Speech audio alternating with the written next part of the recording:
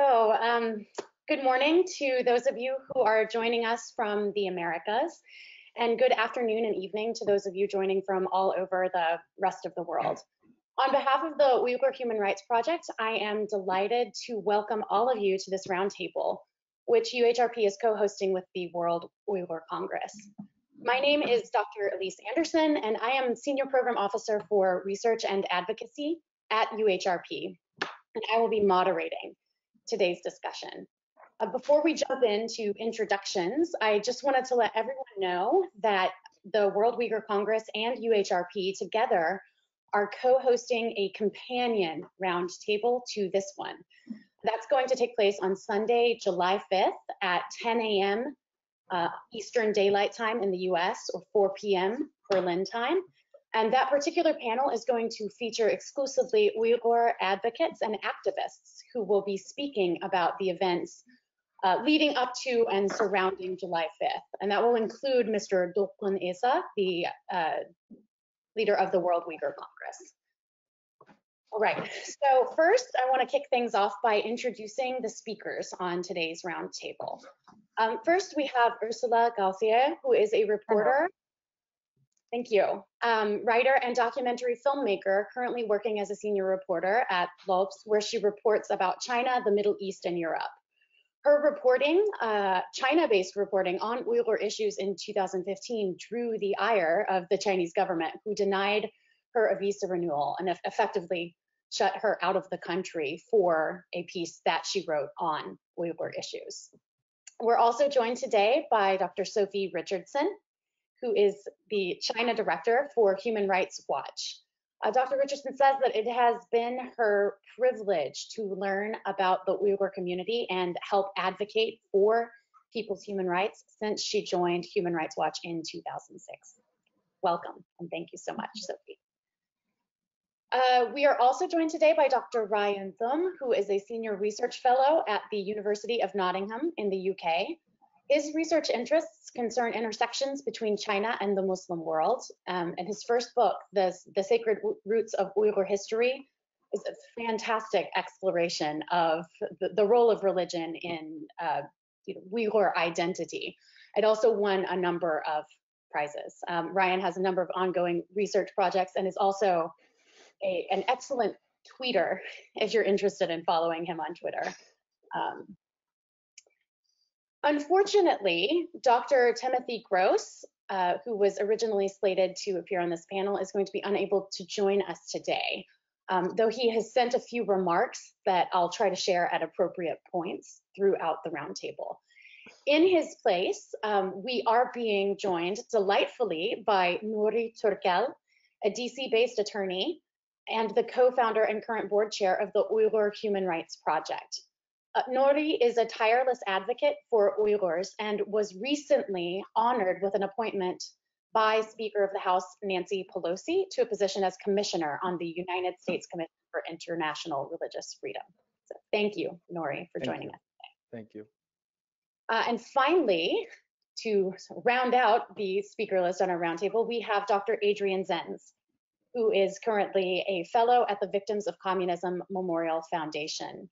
Uh, Adrian is world known for his data-driven research into China's ongoing campaign of repression against Uyghurs, Kazakhs, and others in the Uyghur region. His newest research report, titled Sterilizations, IUDs, and Mandatory Birth Control, uses government documents to explore CCC, CCP suppression of Uyghur birth rates in particular. And that was published by Jamestown Foundation just earlier this week. Thank you for joining us today, Adrian. Thank you for having me. All right, a few um, introductory remarks on behalf of World Uyghur Congress and Uyghur Human Rights Project. July 5th, 2009 was one of the most defining and tragic days in modern Uyghur history. On that day, university students took to the streets of Urumqi to demand justice for Uyghurs who had been murdered in Shaoguan, Guangdong in a racially motivated attack the previous month. At some point, bystander interference and police intervention into that demonstration turned what had been a peaceful display of civil action into a bloody incident.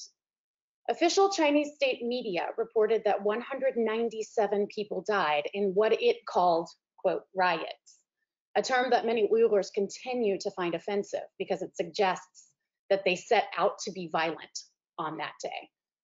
Eyewitness accounts, however, told another story, one of brutality as the police opened fire on demonstrators, beat civilians in the streets, and disappeared Uyghurs by the thousands over the months that followed.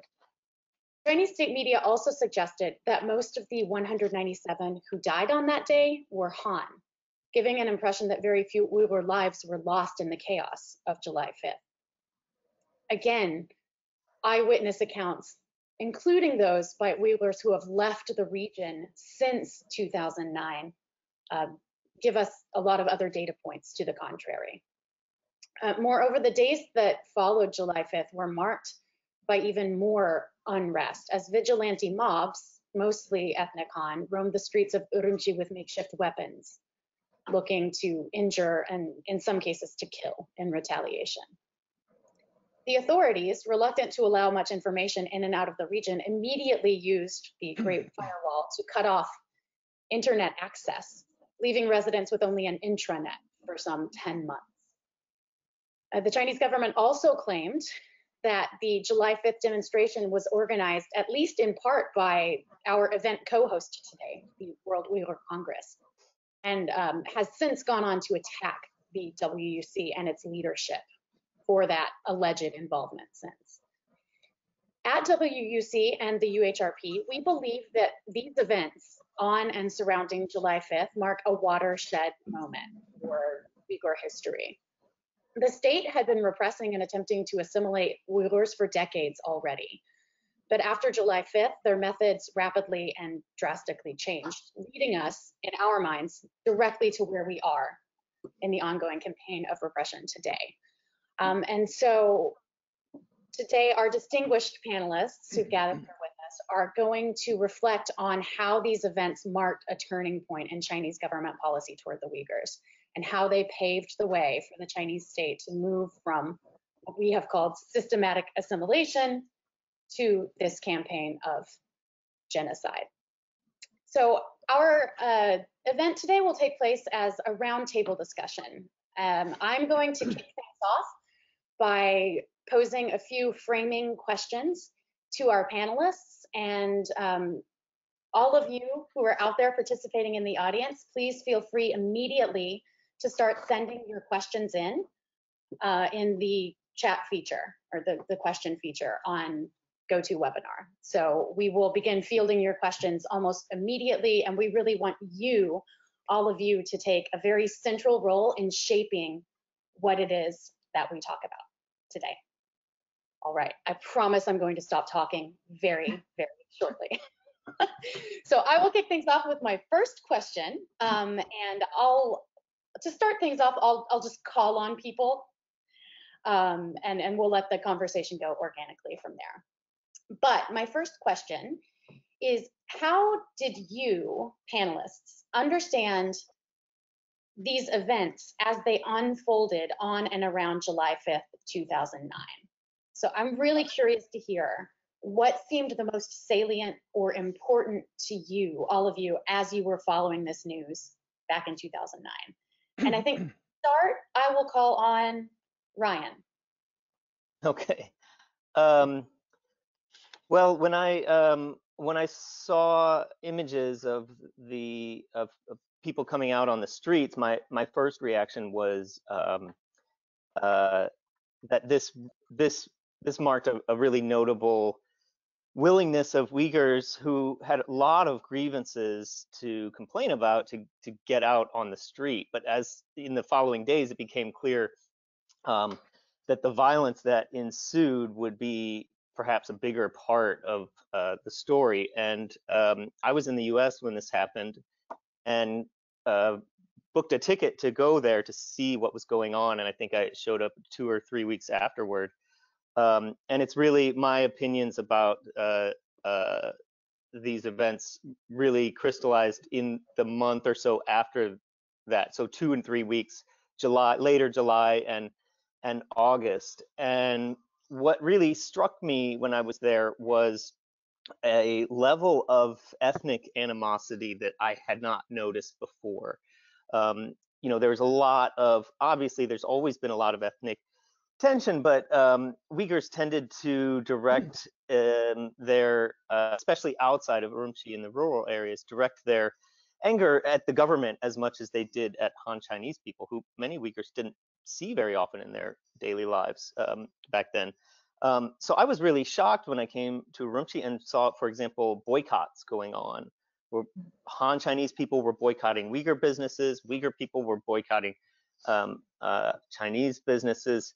Um, and then um, in the other thing that happened was that the Chinese government basically took this ethnic anger um, if you looked at any newspaper front page at the time, you saw the words ethnic unity all over the thing. It was trying to force the idea that we're all friends down everyone's throat.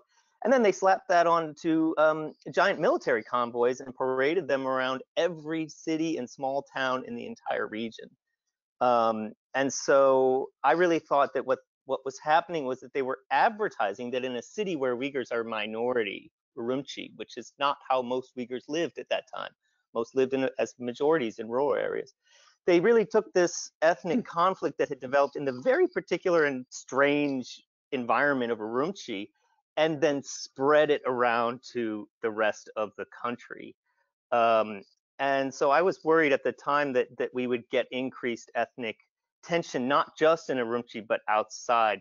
And unfortunately, that's been borne out as we've seen that Uyghur acts of violent resistance, which were quite rare before 2009, increased in number, and in Uyghur acts of violence that targeted specifically Han civilians, which pretty much never happened before 2009, started to happen at a small rate. There's still a tiny part of Uyghur violent resistance, but um, so in, unfortunately, I think the government was successful in making um, the ethnic question central um, to uh, people's understanding of the problem. And then, of course, I think what some other people will probably talk about the other main uh, thing that that I, uh, I noticed, which was this incredible militarization. I mean, you you you felt like you were in a a, a a, military occupation, which is exactly what it was. You know, they pumped in huge numbers of People's Armed Police with military equipment. They were on every corner. They were parading around day and night, um, and that that that was a change that um,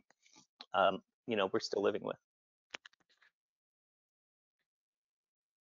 Thank you for those um, really uh, enlightening observations, Rian. I'm sure there's a lot that I want to pick up on later, but um, I think now we can go to Sophie. Thanks. Uh, thanks very much, first of all, to the UHRP and to uh, the World Uyghur Congress for inviting me to join you. I also very much want to uh, take a, a, moment and just express our deepest concerns about Uyghurs inside and outside the region and acknowledge the fear and the pain and the terror that those people have endured, but also state that we are in awe of people's resilience and courage in pushing back against this repression. I was thinking yesterday about um, about those couple of weeks, and I think one of the things I remember most vividly was one of the first pictures uh, of, of a group of Uyghur women uh, who were sort of up against a line of uh, of police. Uh, it was one of the first images that was on the front pages of of Western newspapers or being carried by Western wire services. And I just remember looking at it and thinking, this is what 50 years of repression brings. You know, this is this is what happens when people have no ability to have legitimate grievances responded to, to have you know any sort of equality or equity or say in what's going on around them. Uh, you know, and, and I, I, certainly share um, Rian's recollection about the militarization, just how quickly, you know, very uh, heavily armed uh, troops moved in. That it wasn't just a question of what the local public security bureau was going to do, but that you saw, you know, the PAP and other military units you know, dealing with, a, a, you know, a kind of protest that certainly didn't warrant that kind of a response. And, you know, I think as, as we as we sit here now in 2020 and think back to those times, I think the speed and the severity uh, and sort of the disproportionate nature of the state's response uh, I think is part of what we what we're we're seeing the downstream effects of now.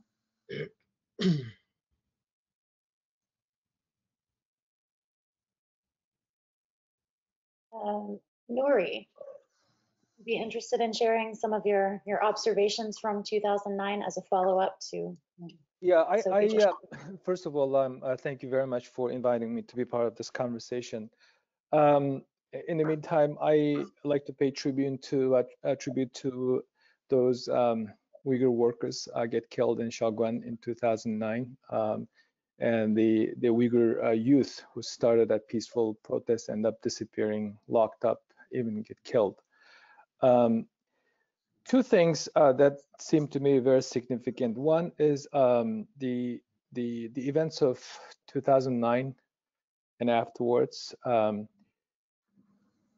made the Chinese government to realize that uh, stick and stick and carrot policy is not effective.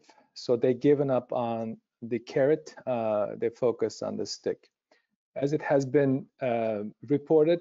Um, uh, that some of the Chinese policy advisors, um, academics, government officials decided that giving the Uyghurs uh, materialistic satisfaction, uh, some uh, rights to move around within the country and outside of the country, did not get them the type of loyalty that the Communist Party was expecting. So that uh, that we have been uh, we have seen that uh, through the recently leaked documents, and also followed by Xi Jinping's trip to Urumqi in 2014. And the other thing that comes to mind is that we've been telling the world, um, those of us who advocate Uyghur rights, that the the global uh, businesses need to pay attention to the forced labor issue way back. This is nothing new. So the Shaoguan is one of the earliest uh, uh, unwanted casualties of the globalization. Uh, it happened in toy factory, US toy factory. There were thousands of Uyghur youth transferred into coastal assembly lines to work. And now, thank God that we are having a real conversation about the uh, slavery, the modern day slavery that started way back. And also, uh, um, the the 2009 incident, um, I hate to use the word riot, as you pointed out. I don't think it's an accurate. I don't think it's conscionable to even call it riot because it's not how it started. Those of you who were on the ground, I have not been back to uh, to the homeland 25 years. Uh, those of you who were there or uh, visited may have heard that the Uyghur protesters initially carrying Chinese flag in order to avoid getting into conflict with the authorities. Um, so this event, I think, uh, helped to sanitize the Uyghur image a little bit in the public discussion. Before the nine, uh, 2009, uh, from 2001 through 2009, it's all about Guantanamo, all about terrorism. But 2009 events changed the narrative a little bit towards the factual and realistic and objective direction. So um, the Uyghur people both uh, blessed and cursed uh, with the 2009 uh, incidents. One, it put the Uyghur issue on the map a little bit on positive direction. At the same time, that paved the way for the Chinese to use the the the most repressive methods of oppressing the Uyghur people. Now, being again into the point of a genocidal policy being implemented. Great, thank you. Yeah, I think what's already starting to come out from the comments we've gotten so far is just that this didn't come from nowhere. And of course, you know, the events of 2009 haven't just stayed in 2009 in some sort of vacuum, right? We're seeing the reverberations today. Um, now I'll give the floor to Ursula to kind of share some of her impressions and observations from that time. Mm, I thought immediately after the 2009 events that it reverberated what happened in in the Tibetan areas in 2008. If you remember, there were um, small-scale riots in Lhasa and then everywhere on the Tibetan plateau. Uh, people who were unrest, real unrest for the first time since many years. And then I thought well, it's coming to to to Uyghur land too, and um, it reminded me of the Gulja events 10 years earlier, where there had been really a very hard, very very hard repression about uh, uh, in Gulja that we don't know about because very little transpired from the Gulja events. So Urumqi, I didn't know what was going on, but it it seemed like the, all the minority areas were effervescent and that something was going on. Maybe it had to do with the with the kind of of um, treatment of the minorities um, situation by local um, uh, officials.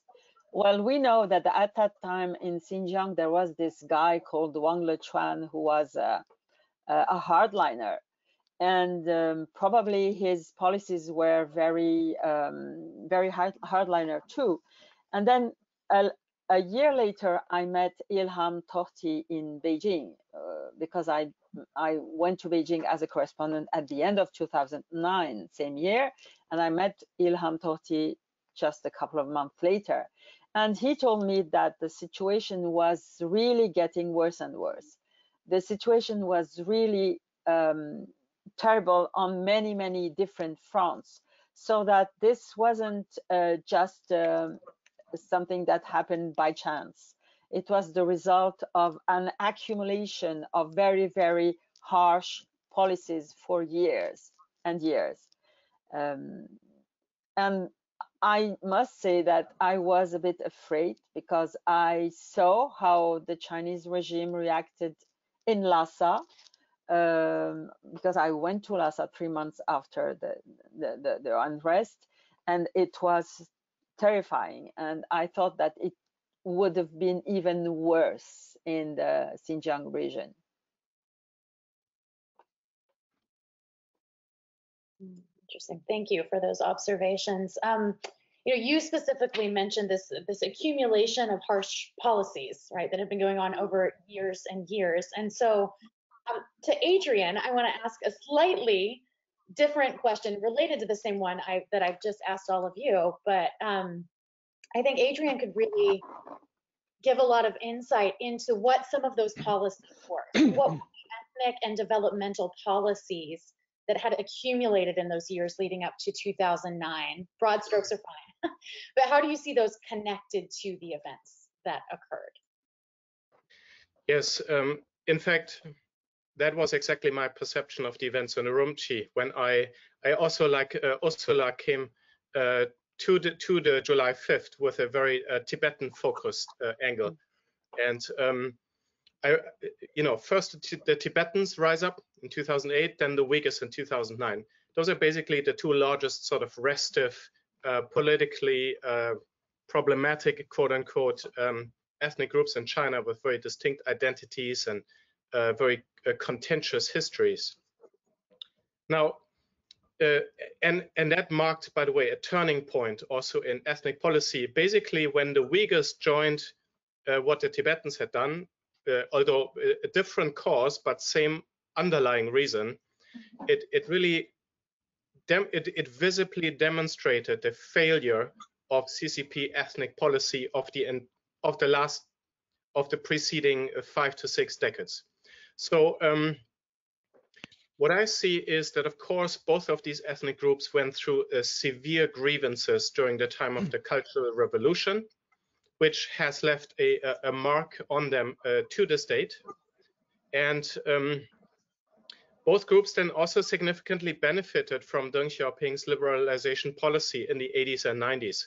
Um, there was a resurgence of um, um, language education, of uh, religious practice, of cultural practices um, during these times of leniency. But what happened in the 1990s and under Jiang Zemin was a, uh, a, dr a, drastic change and reform in all of China.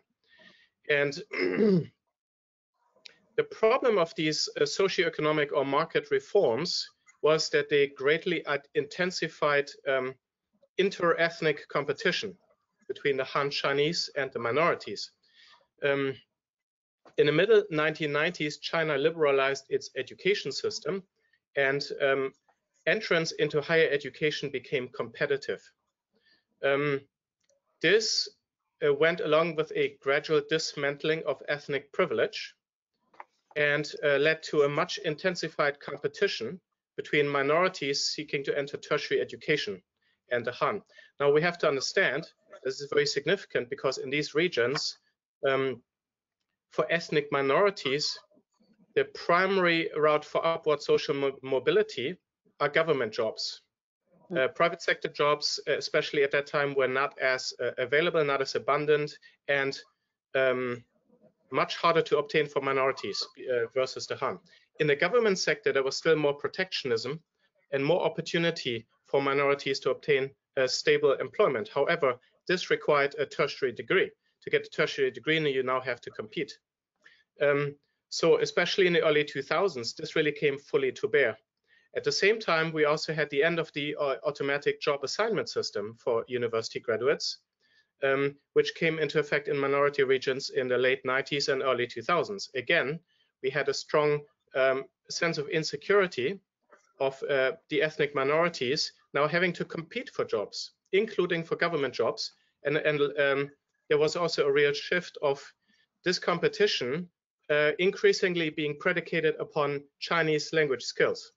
Whereas in the past, some minorities could get away with very little Chinese language skills and still um, go through the system or ride on preferentiality and uh, secure a very good employment. Of course, this was an elite system, of course. But even so, the perception of this change was then coupled with the Great Western Development Initiative, uh, initiated by uh, Jiang Zemin in 1999 and coming into force in the early 2000s. Now, in my latest research paper, I show some of these population and demographic changes, where you see where, um, for example, in Xinjiang, in the 1960s and 70s, uh, Han annualized population change rates were much higher than of the Uyghurs due to massive in-migration. Then in the 1980s and early 1990s, Uyghur birth rates were higher than Han. There was stronger Uyghur population growth. Then again, that changed from the mid 90s, late 90s, quite drastically. You had a strong influx of Han Chinese, both into Xinjiang, into Qinghai, into Tibet, into all kinds of Western areas. Um, who, who, who were the primary uh, benefactors of the billions of uh, uh, Chinese yuan that were poured into these regions through the Great Western Development Project which did trickle down. And of course, there was some benefit for minorities in certain ways eventually as well. But all of this forms the back together, of course, with an ongoing situation of um, a feeling of cultural discrimination. Um, I feel that the 2000, the late 90s, early 2000s were like a turning point where the minorities who were pushing the boundaries of their cultural freedoms, their, their language freedoms, educational freedoms. Xinjiang in 2004 introduced, uh, started to push back first by introducing the bilingual language policy, which mm. boosted Han Chinese learning. In other parts, the, the Tibet Autonomous Region had um, experimented with um, secondary Tibetan language education very successfully, had a, a fair, increasingly well-developed tertiary Tibetan language education. In the late 90s, experimental classes in 97 were abolished after only one year, despite successes. All, the, all along the 2000s, we saw significant pushback in, for, in the form of sinicization and the gradual erosion of Tibetan language education.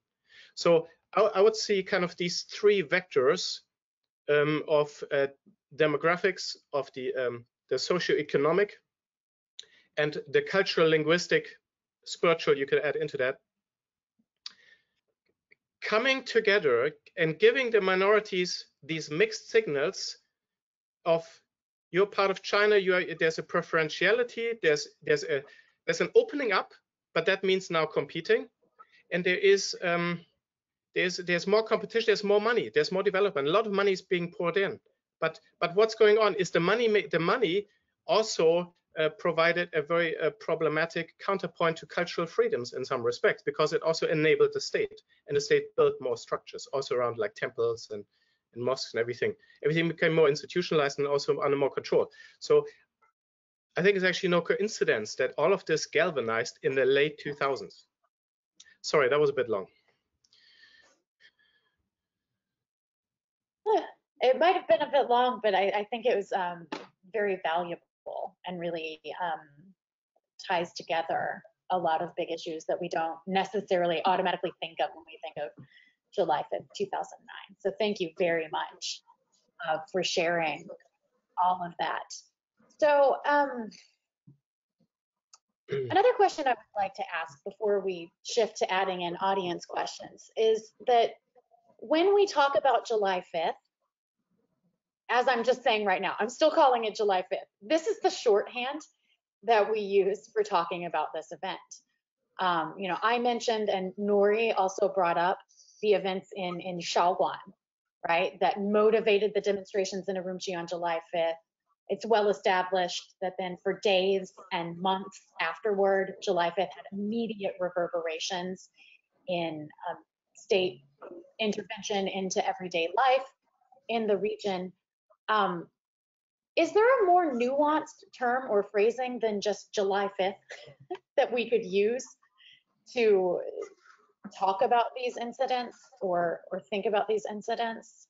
Um, I'm curious to know if if any of you has ever thought of this. I was inspired to ask this question by uh, Professor Jim Millward from Georgetown, who posted this on on Twitter actually recently. I'd be curious to hear any thoughts the panelists might have.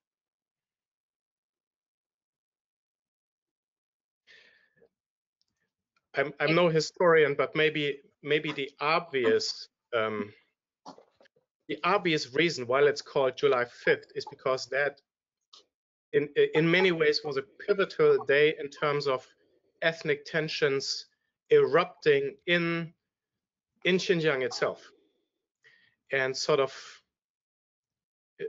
no matter who died who started what sort of that was like probably the moment where a, a more localized uh, migrant-based conflict in Guang in, in Guangzhou, Guangdong, um, uh, erupted into a wide-scale ethnic tension, or it, that that is when the like the underlying uh, rupture became visual, and at the same time, ethnic relations were changed forever.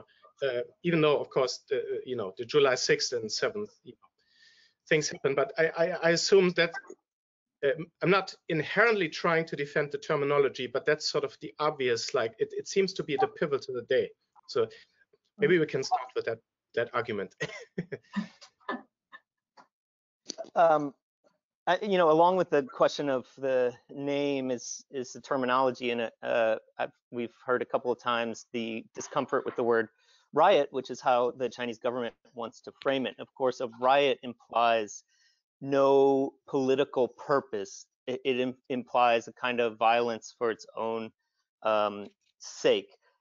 For me, whatever we, whatever I call it, I think needs to include the fact there was violence, um, including violence perpetrated by Uyghurs on uh, Han civilians, and of course, massive state violence against um, uh, Uyghur civilians. Um, and for that reason, I kind of prefer to talk about um, uh, the Urumqi uprising, um, because an uprising implies that there are real grievances that have led people to protest. I mean, originally, of course, it, we, as we understand the event, it started as a protest, but I think uh, a peaceful protest. But um, it did turn into a violent, uh, violent protest, and we have a word for that in English, uprising, um, which we also use for um, urban rebellions and uprising um, in the U.S., for example, which are um, events from the you know 60s and 70s that are now seen as justified um, pushbacks against uh, um, racial uh, oppression.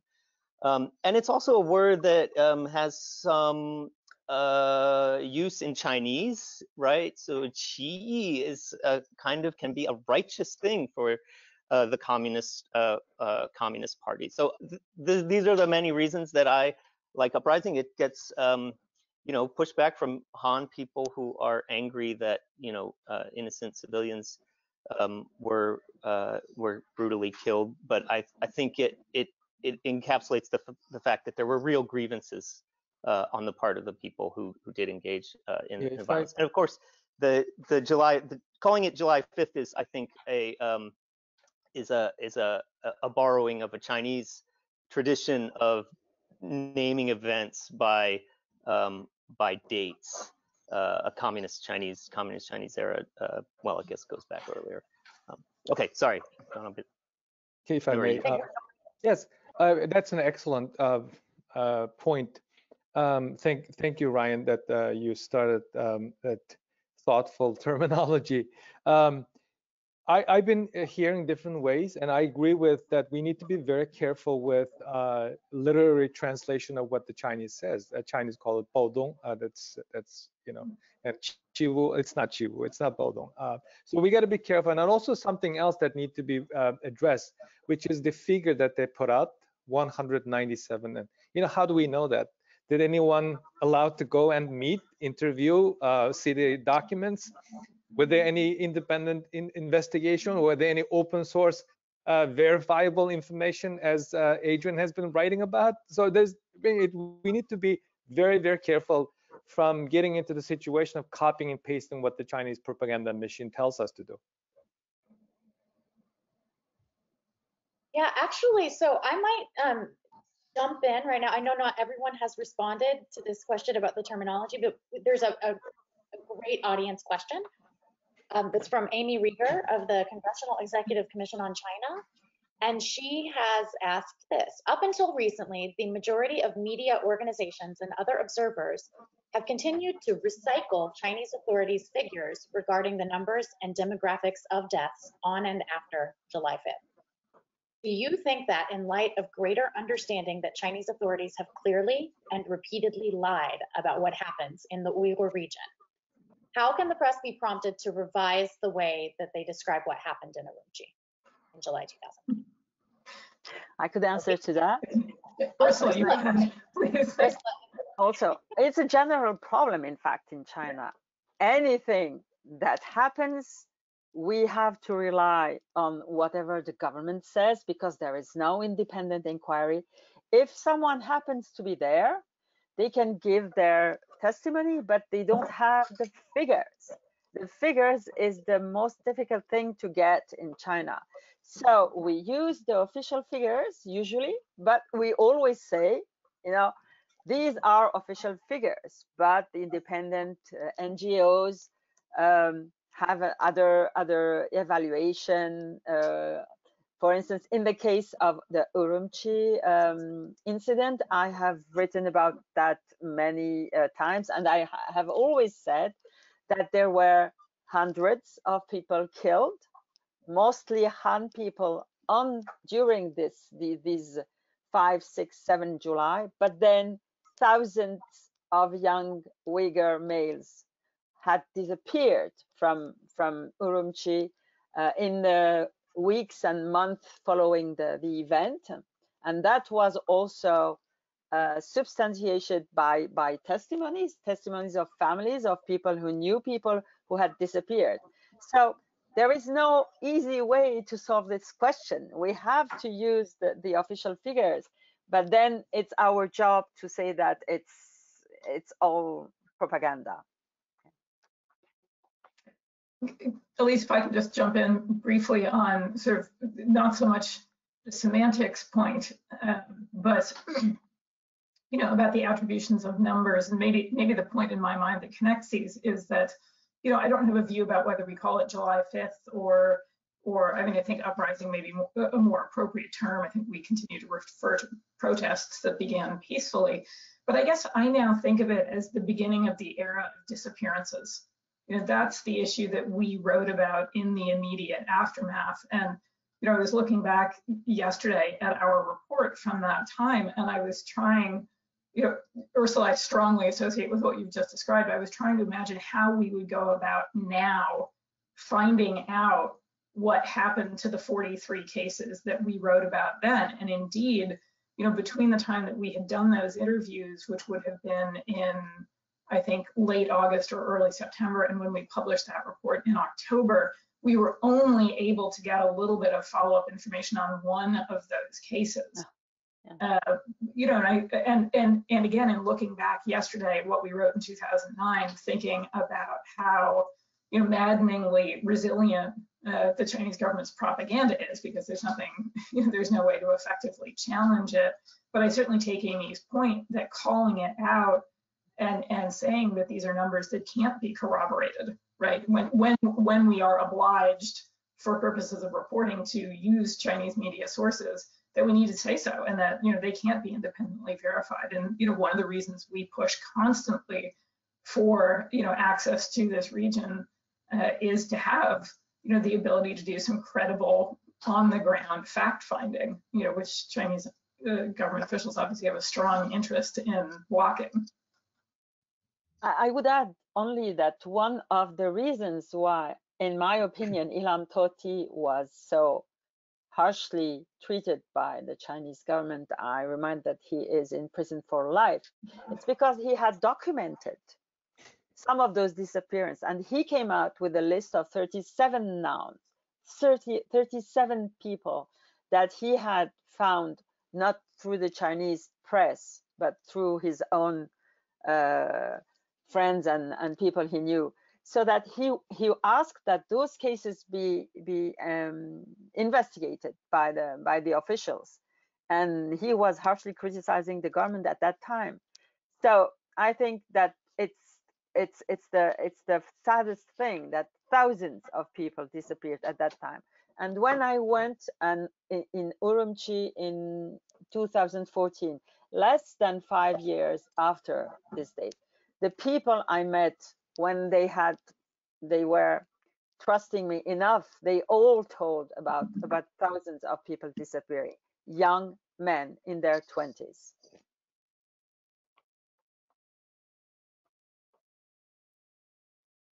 Anybody else have, have thoughts to add? Uh,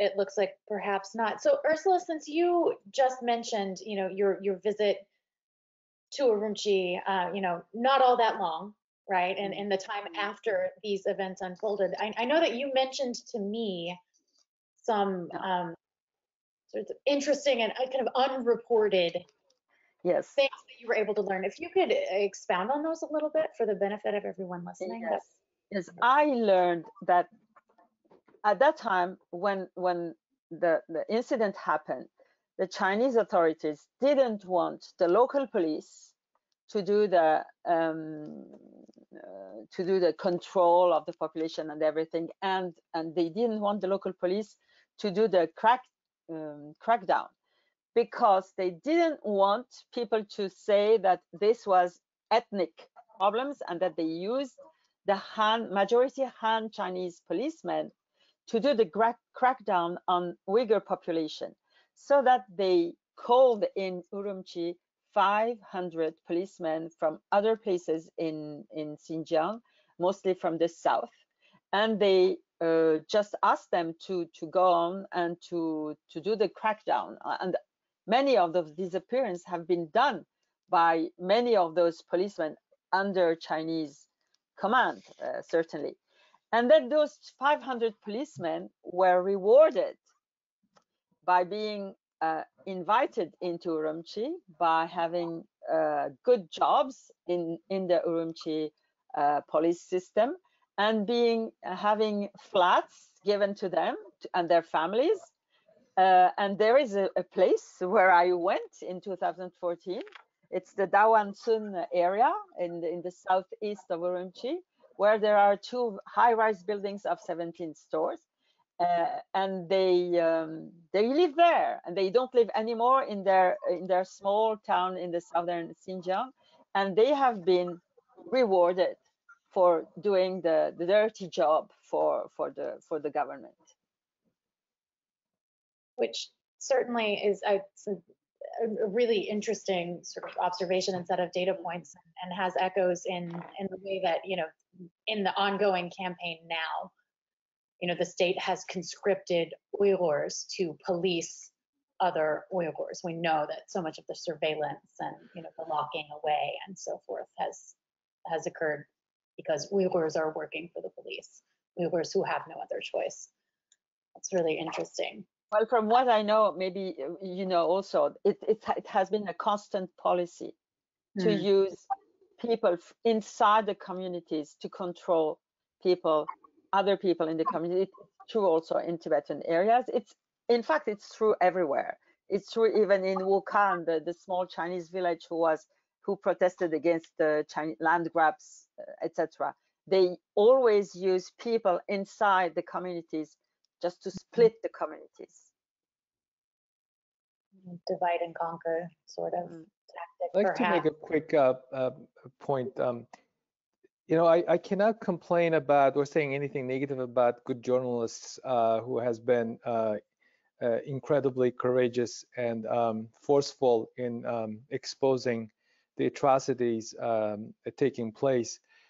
But sometimes I I feel very bothered actually uh, that uh, some of the media reportings um, use the terms like Xinjiang province, far western region, Mm. uh, Chinese Muslims when describing the Uyghurs in their homeland, and also um, some TV journalism also a problem showing uh, the bloody face uh, uh, Chinese individuals when they're describing the Uyghurs. I mean, it just fits it perfect into the Chinese narrative. So um, anyone who's watching from the media, I like to uh, to ask them to be very careful uh, with the word choice because words matter. Uh, and uh, it is, um, you know, Uyghurs have very simple identity. They're Uyghur. They don't need to be added with any other ad- adjective. And there's no such a thing called uh, Chinese American or Chinese uh, Japanese American as we get you as we are as we have in the United States when it comes to China. You just Uyghur, you Tibetan, and the rest. So uh, though no adjective is required and needed, and it can be quite annoying um, if if you call any Uyghur Chinese Uyghur or Chinese Muslim they don't like it. So be respectful. I think the, the the problems of, of terminology and shorthand and our labeling conventions you know, end up coming up quite a bit. And and to circle back to Rian's comment, I think this I, I like the suggestion of uprising for what it implies and um, and the kind of sense maybe more sensitive or nuanced way it could help us to talk about some of these events. I think that was a really good intervention of sorts. Um, we've had another question come in specifically about some of the events that led to July 5th. Uh, there's no identifying name with it, but uh, this question says, what can the panelists tell us about the background of the Shaoguan incident? The role of ethnic rumors and the internet in spreading false rumors. So perhaps, you know, we would call this fake news now, although we weren't saying that then. Um, and so how did, you know, ethnic rumors and the internet and the spread of false rumors also then play into what were already toxic stereotypes about minorities? It's a big set of questions, I know, but could start with just the Shaoguan incident.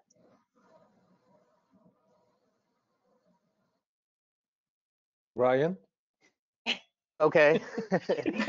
well, um, of course, the um, uh, it's pretty clear that the um, the main spark for the protests was a video, um, which is uh, which shows um, Uyghur factory workers uh, being beaten to death in a, um, uh, the residential uh, compound of a, of a toy factory in um, in the uh, southeastern China, and um, it's quite a graphic and disturbing um, video. There's, um, you know, there's no rumor about it. It's it is a very clear depiction of men being hunted down um, and and beaten to death. And I think the clarity of that video is what um, is what made it so powerful in in in in, in mobilizing uh, people. Um, the backstory to the video, you know, which is hard to confirm, is that it the motivation for beating those workers was rumor that um, uh, was an unsubstantiated rumor that um, uh, Uyghur men had um, sexually assaulted uh, Chinese women in in the factory and uh, rumors did play a big role throughout the the the, the events in Urumqi and afterward. Um, when I was there, people were starting to talk about. Uh, there was this big scare of um, uh, people taking revenge by sticking uh, each other with uh, hypodermic needles on buses. And I mean, the rumors were were constant, and that you know that's an effect of having no um, open media. You know, there there are no good sources for information um, in Xinjiang, whether you're Han or a Uyghur, but even more so if you're um, a Uyghur. Um, and so people people go with with what they can, and they don't trust state media, uh, Uyghurs, for good a very good reason. And so, um, yeah, there's a lot of this this can cause uh, this can cause problems. This can cause people to get out on the street. But the spark for the uprising itself was something that was pretty well um, pretty clear, pretty well documented.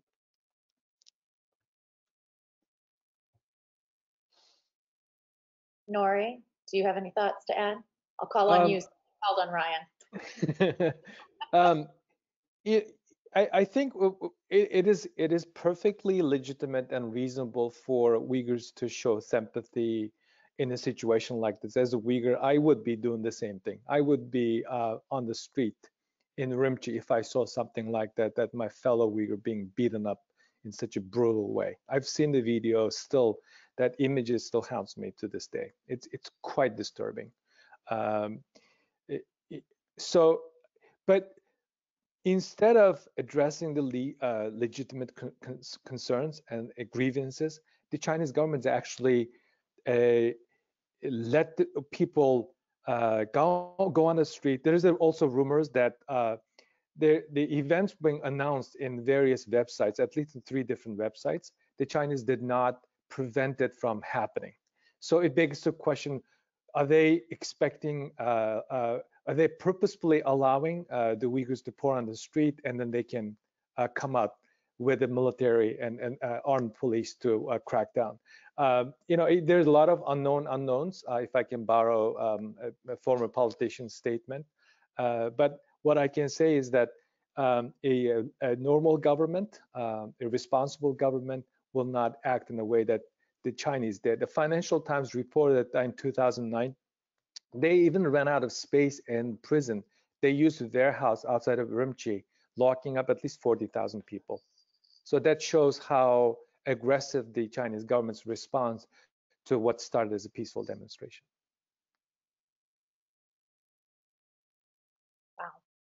Um, thank you. I I would like to to to go back to the the part of this question that that specifically mentions how this played into toxic stereotypes about minorities. And you know, as Rian has already helpfully pointed out, there's a lot about the incidents that led to the actual, you know, beating and murdering of Uyghur men in Shaoguan that uh, that are unsubstantiated, right? And we can't. There's a lot we can't necessarily know about them, but it, it does seem from the outside like they are connected. Those events are connected or were to a certain set of stereotypes about minorities. I'm just I'm curious to know if any of you panelists have thoughts or comments to kind of add in there specifically regarding that that bit.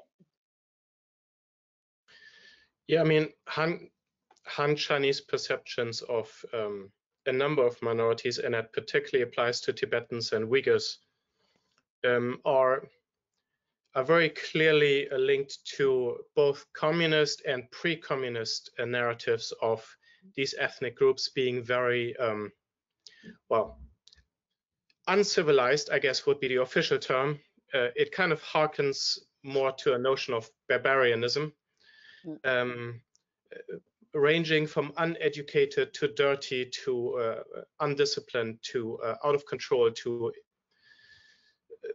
too capable of of uh, committing uh, low low acts. Um, and um, these kinds of notions and of course the related government narrative that minorities need to be civilized they need to be educated they, they need to be brought up to speed with han culture and other things um, that have been cultivated over a long amount of time and of course justify the notion of the chinese nation the zhonghua minzu the, the, multicultural China, you know, 56 quote unquote ethnic minorities. Um, all of these narratives greatly um, play into Han perceptions of minorities that would very quickly interpret their actions negative would be highly liable to believe that minorities perpetrate um, low low acts against uh, the Han, etc., and therefore uh, the minorities need to be governed with a strong hand.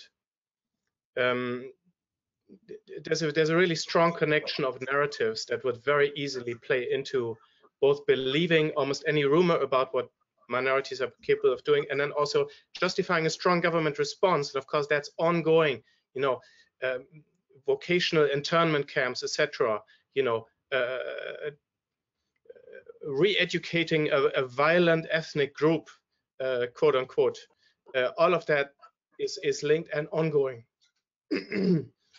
I, I would just add to that you know when i when i think back over the last half dozen possibly even all of the reports that human rights watch has produced uh, you know in the last 10 or 15 years on uh, about about uyghurs or about tibetans they could all have been titled they say we should be grateful. We've titled at least one that you know, because I think the Chinese government also just, you know, constantly harps on this narrative of its tremendous largesse and its kindness and its, you know, this incredibly patronizing, uh, you know, effectively, you know, racist rhetoric that, it, you know, it has lifted these communities up and somehow you know, civilized them and brought them into modernity. And it's, you know, and that's a, narrative I think the government really goes out of its way to ram down people's throats.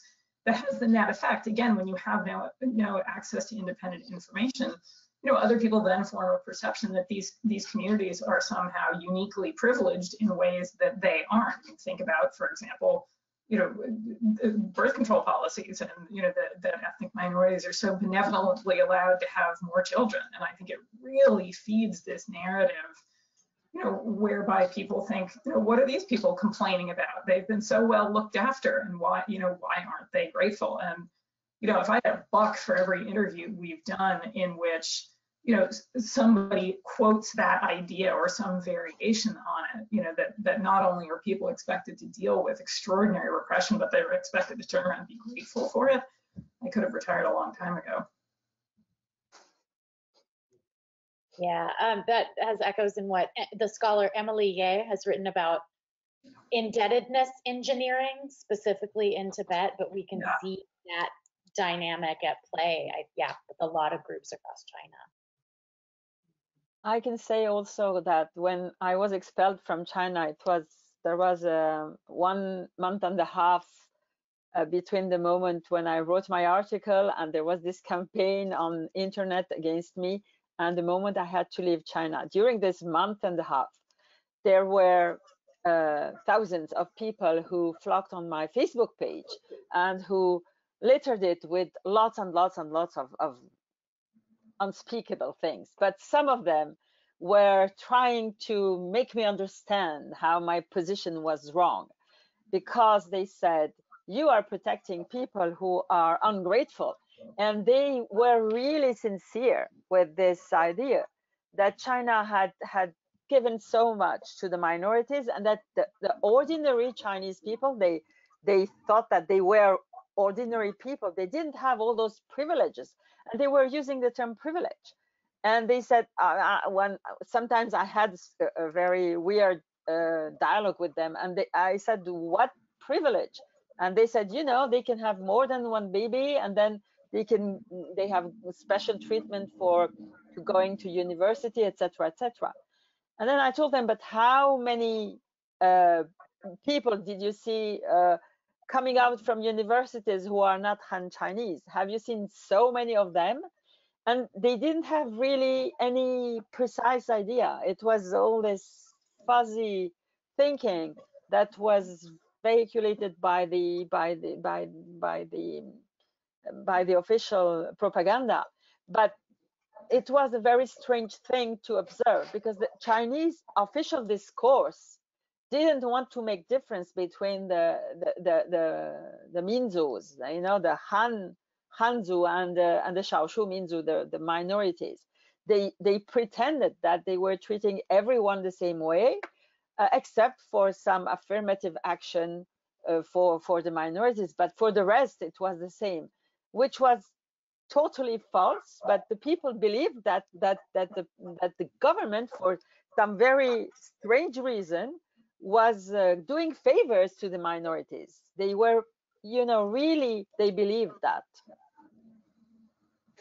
Speaking of the uh, um, um, preferential treatment, when I look at the uh, type of people that the Chinese uh, start to round up in 2000, uh, late 2016, early 2017, um, it come, what comes to mind is the those people who have been treated preferentially.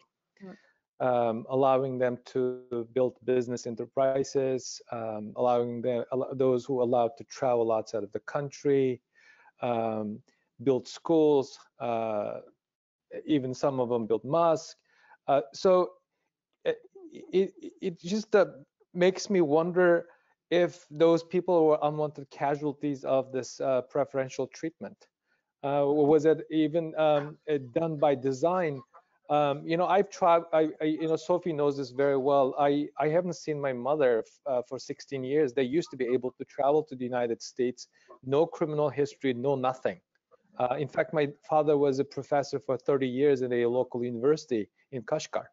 Um, with that kind of clean slate uh, background, I could not get their passport, whereas the Chinese allowing some Uyghurs to travel was it a paving the way to build this artificial data, uh, uh, uh a massive personal information collection effort that the Chinese started.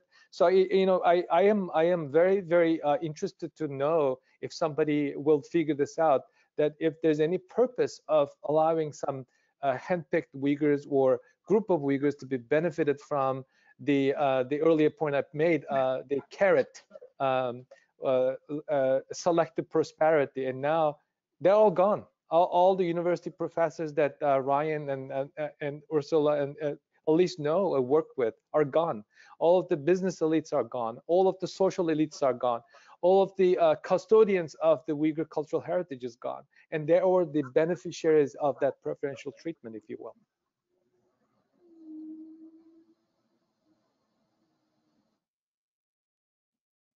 Yeah. So very um, sobering sort of reminder of, of where this has all ended up going, I think. Um, I have another question specific that came in specifically about the uprising. Um, this is from Kevin Kind of Johns Hopkins, and it can be to, to everyone on the panel. Um, he writes, it seems to me the 2009 massacre is a kind of Tiananmen Square for the Uyghur people. After Tiananmen, the government had a huge push to shape the narrative in the minds of Chinese people. How did the larger Uyghur community in the Uyghur region react to the government's narrative of what happened? And what collections of truths and rumors define how Uyghurs understand the 2009 massacre today? I think maybe Nuri, if you want to jump in first. That's a it's, it's obviously a big question, but I think all of all of you probably have some things to contribute to that in some way. But we can start with Nuri. Would you mind rephrasing your question? I got distracted a little bit. Um... No problem. It is it's a big one. Um, how did the larger Uyghur community in the Uyghur region react to the government narrative of what happened? And how um, understand those events today? the Uyghur people have uh, have a habit or tradition of taking whatever the uh, Chinese government or Xinhua, the CCTV says, an opposite way. Um, after the 2009 um, uh, uprising, the Chinese put um, uh, several handpicked Uyghur activists in front of camera holding a sky blue flag, condemning them. Actually, that um, worked the other way around.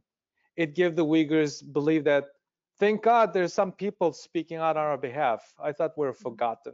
Similar thing are happening. Uh, recently, after the enactment of the Uyghur uh, Act, the China is doing exactly the same thing. Uh, and then it just basically telling the Uyghurs that the United States Congress is going after the Chinese government. So um, it depends how you see it, but um, it's not by design. By I think by it's uh, it's an uh, it, it's a it's a uh, the Chinese government think it's an effective method, but to the it, it, it is the opposite. um, that's the nice way of Uyghurs getting informed about what's happening outside the world.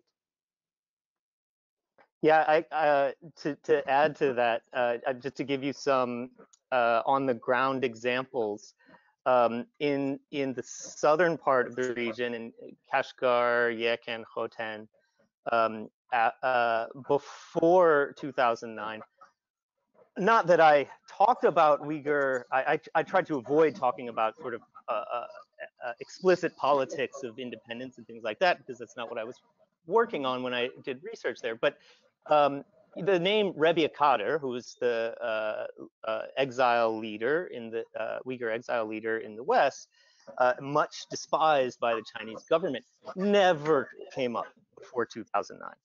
And of course, uh, after the Ürümchi uprising, the Chinese government spun this tale that Rebiya Kadeer was behind the whole thing. They had this uh, um, sort of conspiracy theory documentary running on the televisions all the time. And they actually took military trucks around the South with giant loudspeakers on them. And they were touring around even small towns, um, talking about how Rebiya Kadeer was a tax fraud and all of this stuff. Everybody knew who Rebiya Kadeer was, and they figured she must be a really wonderful person to the extent that I walked into a tea house um, uh, in the weeks after the uprising in one of these uh, uh, southern towns. I walked in and I said, hello. And somebody in the tea house shouted, we are all Rebiya Kadeer's relatives.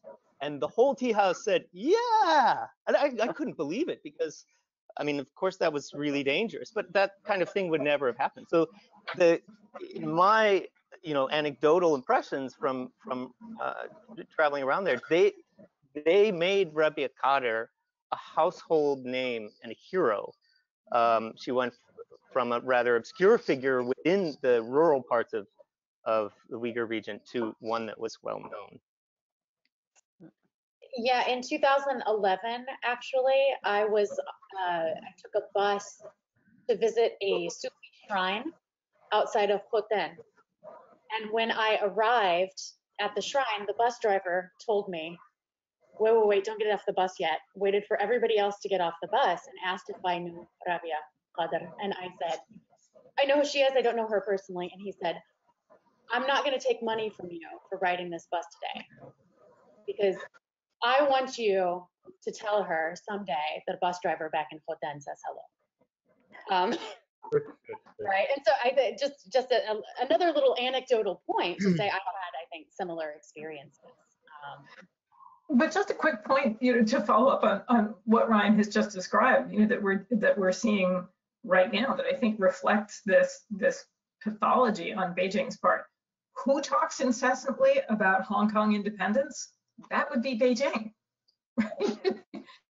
yeah.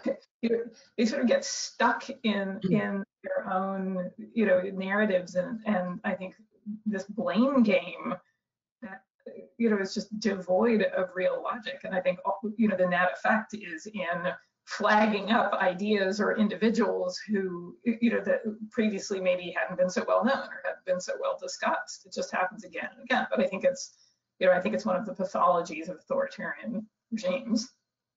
The, uh, yes, I'd like to follow up on that thought um, and on the previous thoughts uh, of Nuri and Rian.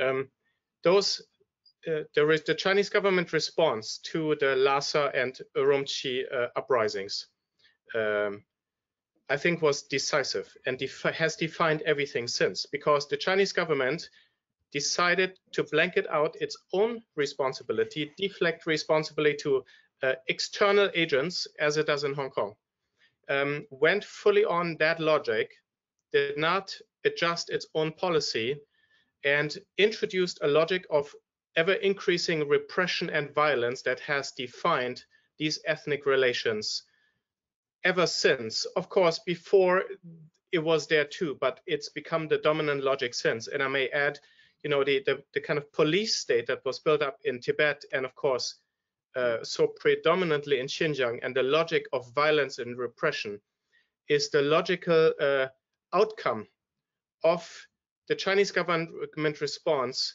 to the eruption of ethnic sentiment and a non-adjustment uh, to legitimate grievances. And I think so. That's also I think why this event is so significant today. Uh, looking at the Ürümchi uh, uprising, looking at this event, this pivotal event, and understanding how the logic that has followed ever since. And also now, and this this is now spilling out also in Chinese foreign policy. The way, uh, like, if you look at border tensions, India-China border tensions, you know, the military moving into Tibet to uh, fortify the border to uh, India. This whole uh, the logic of hard power or sharp power uh, is dominating both domestic Chinese politics and China's international outlook. And so I think that really is the big picture. I would like to add something. Um, there was this very uh, strange incident when uh, people sent by the Dalai Lama went to uh, to Tibet to have um, talks with local people, and then the, the, the the officials were quite confident that they could invite those persons and that it would be okay. But then when those people showed up, and there were thousands tens of thousands of people who came just to have a look at, at them and just to touch them, etc. And then it was a huge surprise for the Chinese government, so that they didn't imagine that after all the goodwill and all the privileges they had bestowed on the Tibetan areas, the Tibetans should still be very attached to the Dalai Lama. I think there is the same kind of ignorance of what is the people's heart in the minority areas there was. And my my thought now is that now they know now they know that there is no goodwill on behalf of those uh, minorities for a very simple reason because they they were mistreated for such a long time. But now that they know they have take off the gloves and they are boxing without gloves. I think that's the, the, the worst part of it. They know better, they have no illusions, and they are going really very hard.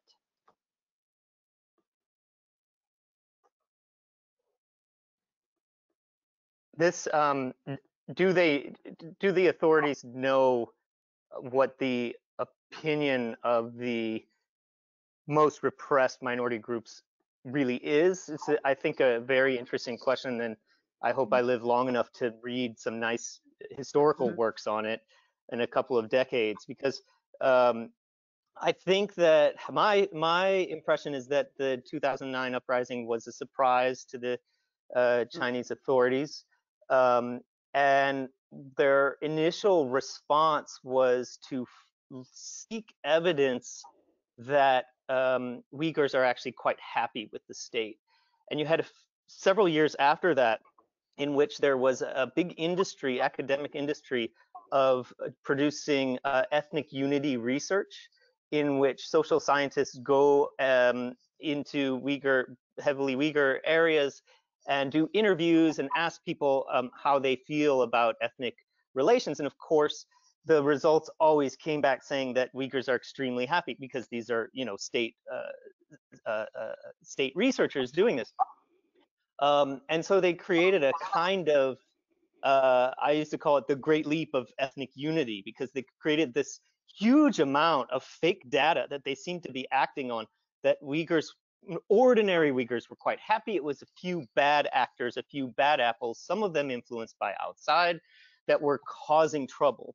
Um, and in that respect, I think, you know, 2009 is a turning point only in an indirect way because we see around 2013 or 14, 15 under Xi, he elevates the very a, a minority of academics or his people below him, the, a minority of academics who did see um, minority or or uh, minoritized people's discontent, they get elevated um, and they start uh, informing the people at the top. And you get this turn in the policy where you start to see a recognition not just in the way the party talks, but the way the party acts, um, and starts to see Uyghurs as inherently, by virtue of being Uyghur, disloyal.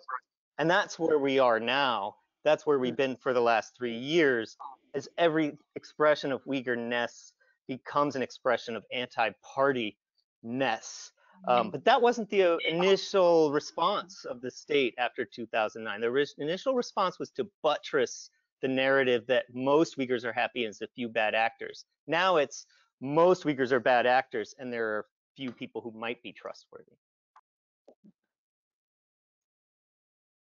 Yeah, that's a really interesting observation and very well put, I think, um, pithily expressed. Um, we're getting a lot of questions coming in that are kind of shifting from these events are, that happened on and around July 5th, the Ürümchi uprising, to the things that we know are happening um, in 2017 to the present, which, as Rian just pointed out, really go back to this big shift, probably that happened in 2013, 14. So um, we might kind of see this as the turning point in our event to discuss how the Ürümchi uprising connects to what's going on right now. Um, yeah, I, I, I like Rian what you just said about how you know 2009 was maybe only a turning point in an indirect way because I hadn't necessarily thought of it like that myself before. Um, I'm curious to hear from all of the panelists. Um, given all that we know now and given what we know is happening now in the Uyghur region, uh, do you understand 2009? Do you understand the Ürümchi uprising in a different way than you did when it was happening? And if so, how?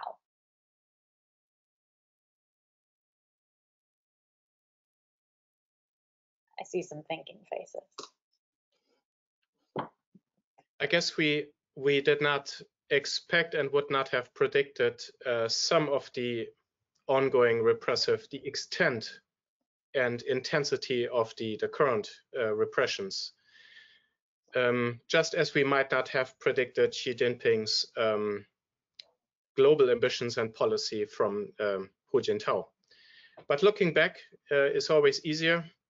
And I think looking back, I actually see a very logical progression of both. You know, there's recent talk about, you know, Xi Jinping's uh, turn to a more aggressive foreign policy stance is actually quite, in some ways, quite consistent with original ambitions.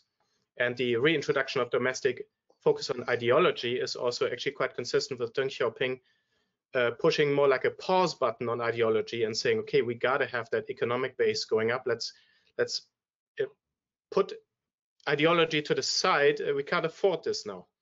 And I think with the ethnic relations, I think, as I said, um, you know, the, the decision made by the Chinese state to go into denial and into different forms of repression um, what is going and i might add not just of minorities but also of the han. If you look at um, han religious groups if you look at falun gong if you look at house church christians if you look at han at the dissidents you know actually it's across the board and it's consistent and it's not just towards the minorities mm-hmm. and so i think we see actually um, a logical unfolding of a, a, a logic of repression that um, uses whatever means are necessary. And of course, re-education and all these things have um, a, actually a long tradition, of course, in China. It's just not on this scale and not as a normalizing of governing society. Um, but at the same time, I think maybe surprising is the speed and intensity. That might be surprising. The speed and the intensity, some of us might have predicted this maybe 10 years later. If things keep going down the drain. It's just happened faster and a greater intensity. But um, I think I would see a great deal of consistency and uh, not as much exceptionalism as might have been attributed to the most recent strategies.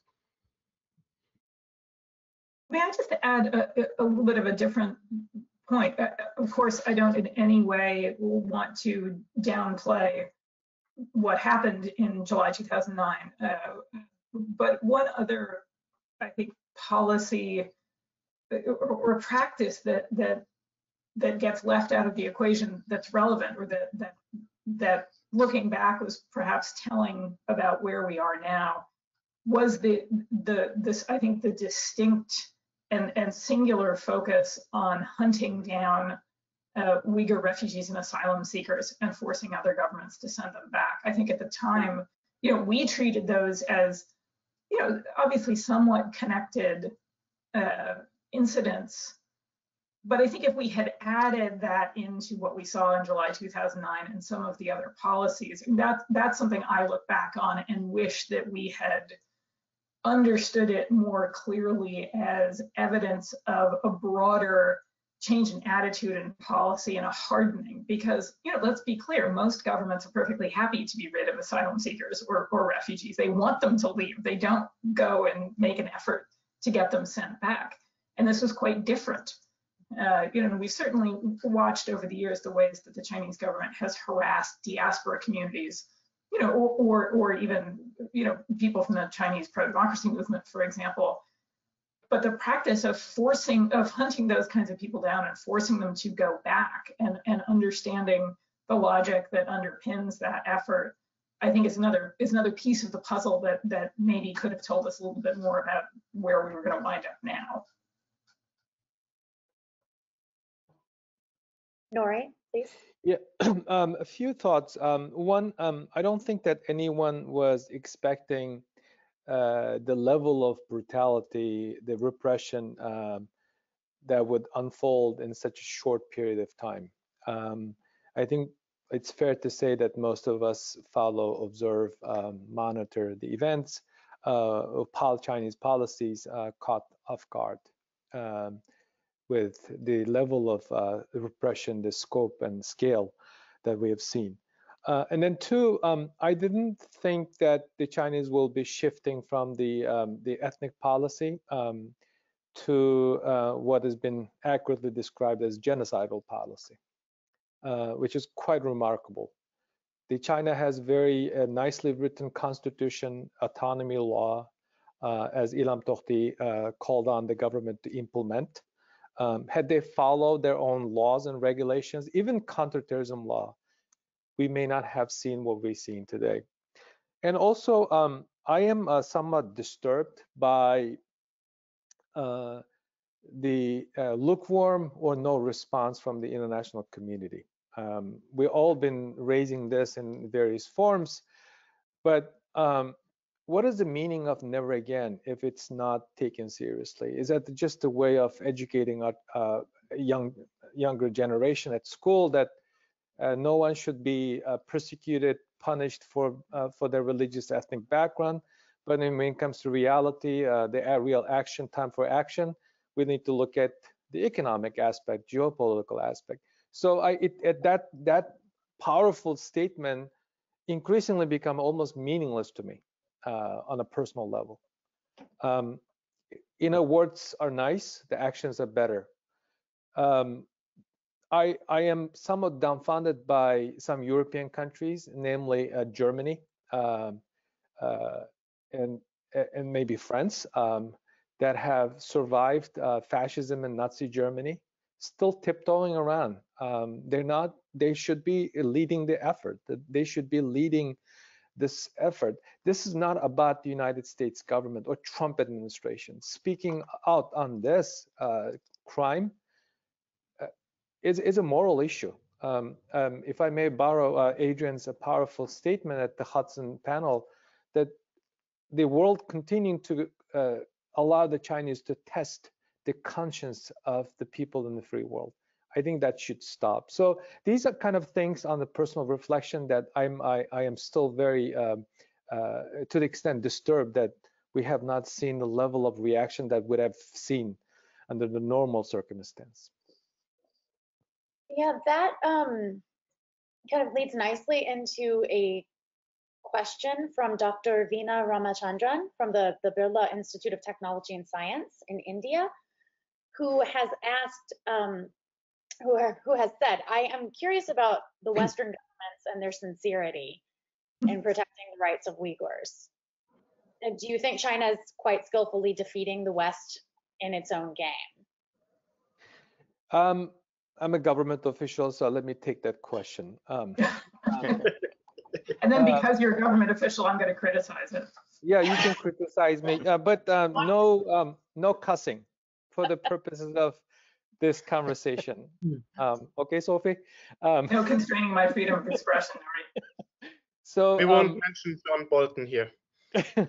so I, you know, I, I I think it's a fair question um, uh, in light of what is being discussed in public.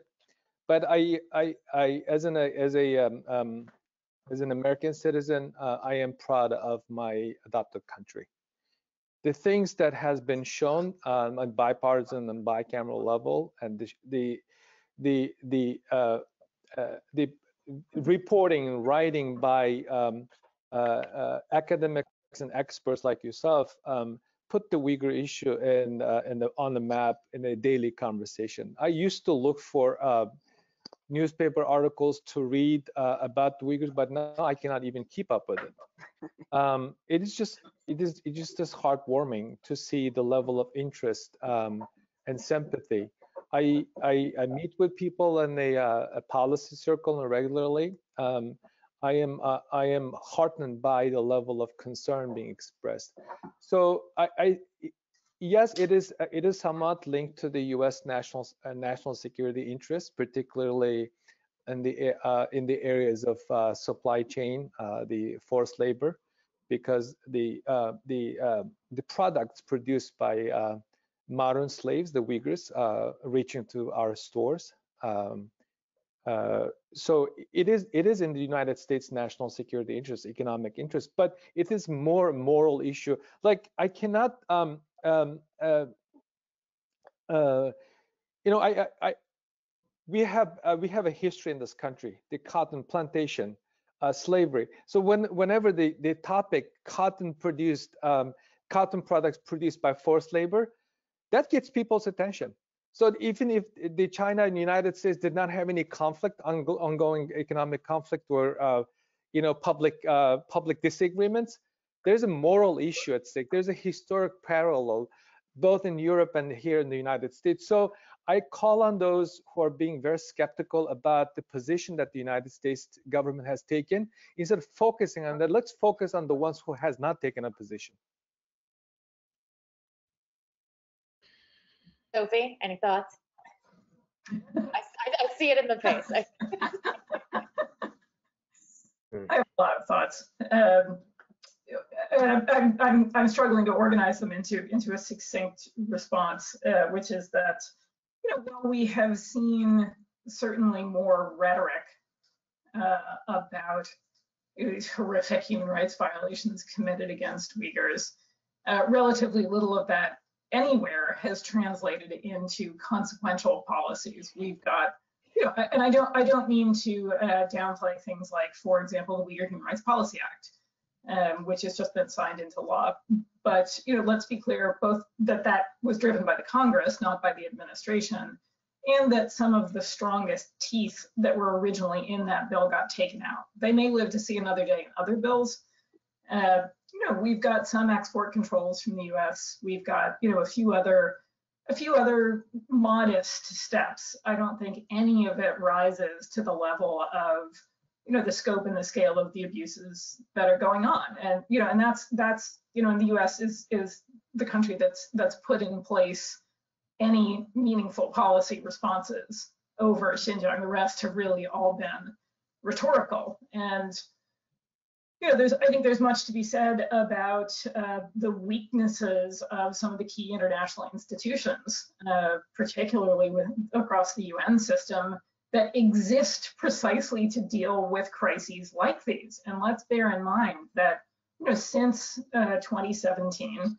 uh, when the crisis for Uyghurs has really sort of exploded into uh, greater con popular consciousness, we've seen the UN Human Rights Council or other UN bodies with, with human rights mandates carry out fact-finding missions uh, or other kinds of, of special efforts to look at serious human rights violations in, I just scribbled down this list, I may be forgetting a few, Myanmar, North Korea, Libya, and Syria.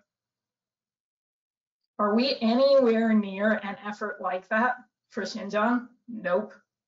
All we've got still are you know, these incredibly fragile joint statements, not votable texts. You know, these, you know, these, these joint statements are incredibly difficult to coax governments to sign on to.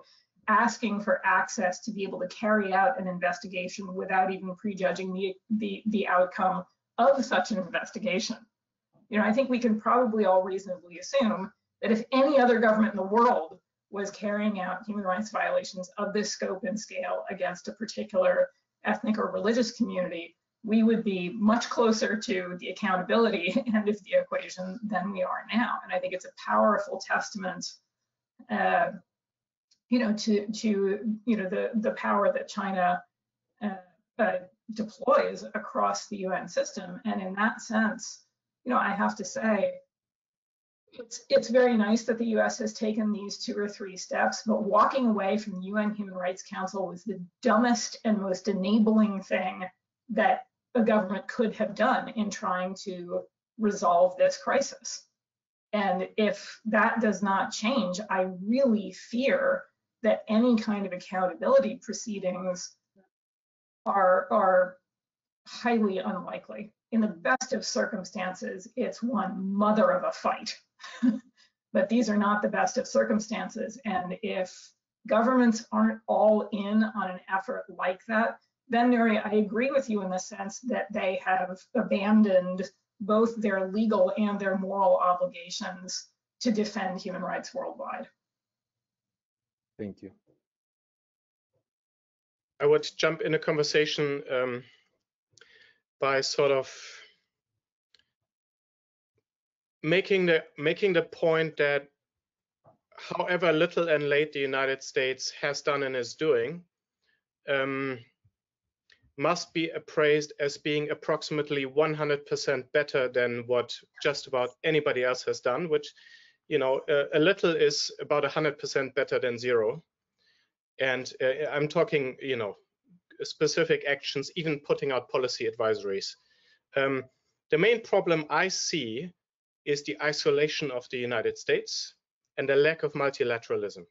Uh, China has successfully been dividing uh, the international community and uh, the elite capture at the United Nations has become very severe. And uh, whatever the United States is doing is, of course, also being interpreted in light of its own uh, current motivations, right or wrong.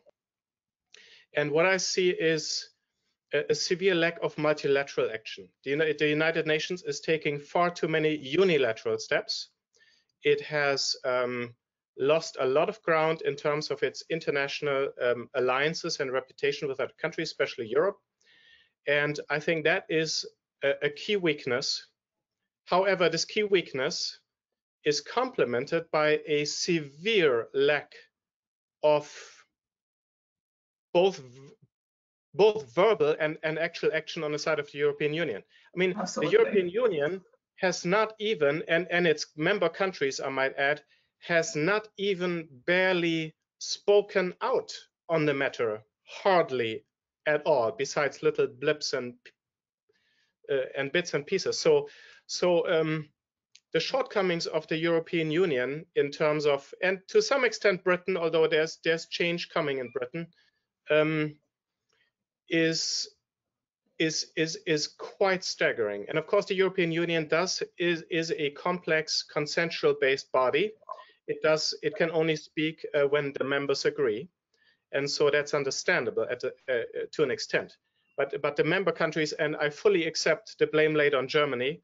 Um, i accept that blame uh, well not, I, not I, but i would agree with that blame 100% and um, what what i would say i would very strongly highlight the shortcomings that are there and the shortcomings at the united nations. And i think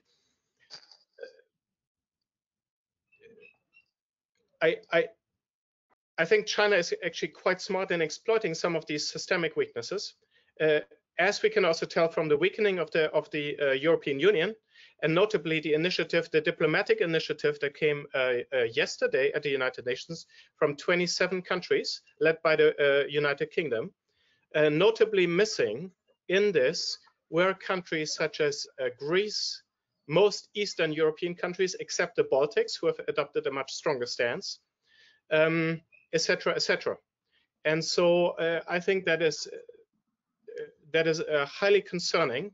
The lack of unity on the side of the sort of what we might maybe loosely term the democratic world. Of course, it's it's Western dominated, and I guess one can open up the can of worms really and ask, okay, how about um, what's what's the human rights appraisal uh, in countries uh, of the Xinjiang, the Uyghur situation in countries uh, around the world? Uh, how about the Muslim world? Yeah, I mean, so um, anyways, that would be sort of it's a complicated situation. I think there's a justified criticism of the United States. I would uh, I would see much more severe shortcomings, to be honest, in Europe in the in terms of the response. Um, and I think and I think this also characterizes where we're at because we are no longer at a stage where more evidence is needed, is really needed. I mean, evidence is nice. Uh, and now, uh, since this week, we can, we can, we, uh, I guess the debate this week has sort of moved the discussion a bit closer to looking at the possibility of genocide or aspects of genocide or forms of genocide, etc. Um, but the, the biggest question is now, okay, so so where where does this leave at? So we know uh, thousands, maybe over a million Uyghurs are in camps or have been in camps. There's forced labor, there's abortion, there's sterilization, there's parent-child separation, there's boarding schools. So what? I, um, I, you know, I, I, I agree with Sophie and um, Adrian. Um, simply put, we need bigger boat um, uh, to tackle this uh, enormous challenge um, U.S. retrieving from the world stage, um, kind of doing it bilaterally instead of multilaterally, is is one of the problems um, that is not uh, uh, uh, yielding any good result. Um, it, but at the same time, um, I, I, call on people around the world uh, to to don't second guess uh, what the United States has been doing on behalf of the Uyghurs. Um, this has been very, very common uh, misperception in the Muslim streets. Uh, I talked to people um, from the Middle Eastern countries. Uh, they think this, there's still some well-educated people, well-informed people believe that the United States government created this problem to prevent the China rise, which is which is ridiculous. So I, you know, I I, I call on uh, the countries around the world um, to show some leadership um, I'm not advocating uh, the Cold War uh, 2.0, but what I'm educating is a global response. Uh, get on the right side of history. It's not difficult. Uh, it's a matter of conscience. It's not that difficult. Actually, this will protect your economic interest. Speaking out on this, this is how you get the Chinese government's attention.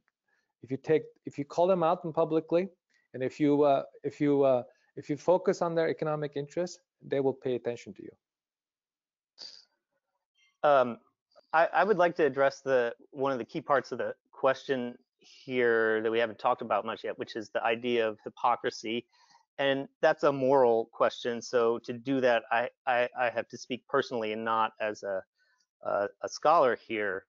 Um, but I, you know, there are no states or institutions in the world today which are not engaged in some pretty terrible um, abuses of various rights.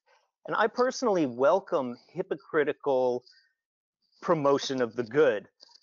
I'm one of the people who's quite happy when the Chinese state produces its human rights condemnation of American uh, uh, systemic racism.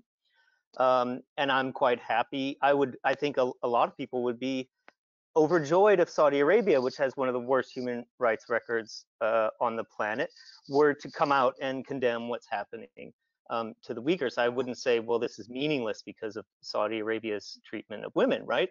Um, all of these, and, and so I'm also happy to see the US um, criticize China's racist policies of assimilation and uh, now genocide, um, despite having its own uh, violent racist policing system. Um, I think that these hypocritical promotions of the good bolster an international discourse which says it is not okay to do these kinds of things. And I'm not willing to discount these valuable uh, messages uh, simply because the speakers um, have have their own failings. Very good point. I'd say. Yeah, very good point. I mean, I guess otherwise none of us could say anything, right? That's right. Right. demanding some sort of total ideological clean slate, pure sort of approach doesn't exactly work, right? Um, we have, oh, go ahead, please. Just, just to tack one quick point onto that. And Rian, to, to the point that you just made, I mean, watching the Chinese government's interventions around the debate at the Human Rights Council last week around the resolution on a commission of inquiry to look at, you know, racism and police violence against uh, minorities in the U.S. is is language I can't wait to use because you know the, the the hypocrisy there is just off the charts. And just to be very clear, Human Rights Watch is completely supportive of that effort at looking at abuses in the U.S. And there's a reason that we work worldwide, holding all different kinds of governments, you know, to the international standards that they've signed up to. Uh, but but the frustration I'm trying to highlight is that you know here we have the key UN human rights, it's the global human rights body that's that's able to move ahead with an investigation into these issues in the U.S. or on the DPRK, but not China. And that's that I think is the reality that we all want very much to change. Uh, Sophie, would you would you like to say one or two sentences about Chinese, uh, the most recent sort of Chinese uh, inroads into controlling the human rights discourse at the United Nations? Because I think that's very significant as it pertains to this um, this situation here. I don't know if I can do it in one or two sentences, but you know, we don't just live in a time now as when when the Chinese government is literally trying to rewrite norms and concepts, trying, for example, to interject the idea of quote mutually beneficial cooperation uh, as the basis for human rights uh, discussions, and and and by that it means uh, a, a, a, human an international human rights architecture that would only be for governments and would not involve any sort of accountability. All the all of the oper, all of the, the the the content would be governments in dialogue without any kind of consequences. Uh, and I'll spare you all of the details, but the Chinese government's resolution advancing this idea at the Human Rights Council did pass, but essentially with minority support, which is a step in the right direction. You know, last time around, only one government, the US, opposed it. This time 15 did, or sorry, 16 did. 15, 16, I'll have to check. Uh, and a number of governments, uh, seven or eight, abstained. And I think there's a growing awareness of not just the threat that that kind of language presents, but also the very aggressive ways the Chinese government operates within the council. It's we're, we're keeping an eye on one of Beijing's newer habits, which is to sign other governments up to Chinese government resolutions without necessarily asking those other governments first whether they want to be listed, leaving the other governments in the position of having to say to Beijing, no, no, we actually don't want to be on that you know, which especially for countries that are largely economically dependent on Chinese aid is a very awkward position to be in. Um, you know, but but but with in in the absence of I think a broad coalition of governments that are going to commit not just to responding forcefully to human rights violations against Uyghurs, we also need to see those governments come forward and commit to protecting that system because if if that system weakens and really operates only in the ways that the Chinese government wants it to, you know, that has terrible consequences for human rights worldwide. But uh, just to go back to a point that, that I think Rian and Nuri were also making a little bit, if you look at, at the universe of governments that I think, or, or even publics that are, you know, horrified at what's happening to Uyghurs, or that, or who are horrified by what's happened in Hong Kong, or who are very angry about COVID and the Chinese government's role in, you know, obscuring information and silencing whistleblowers, you know, that creates a little bit of a broader set of, of actors than in the past. And I think we may see some of that come to come, uh, you know, produce some momentum at institutions like the Human Rights Council.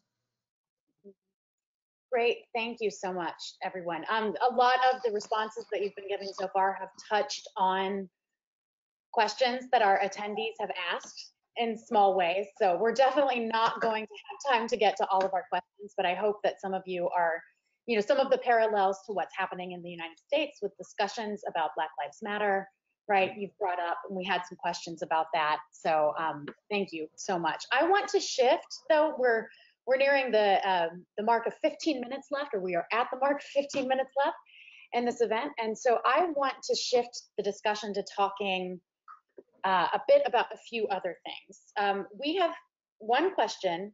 This is just one more policy related question from Omar Hossino, who is the foreign policy advisor for the House Republican Study Committee. And he wants to know um, what the panelists think about the idea of sanctioning the United Front.